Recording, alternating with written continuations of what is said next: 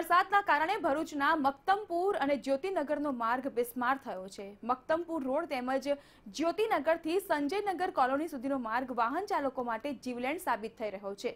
સ્થાનિકોનું માનીએ તો વર્ષો છતાં રોડ રસ્તાના ગાબડા પૂરાતા નથી, તો આ રોડ પર સ્ટ્રીટ લાઇટનો પણ અભાવ છે. ત્યારે અંધારપટમાં ઉબડખાબડ રસ્તાના કારણે સ્થાનિકોને અકસ્માતનો ભય સતાવી રહ્યો છે. પરંતુ તંત્રના પેટનું પાણી હાલતું નથી.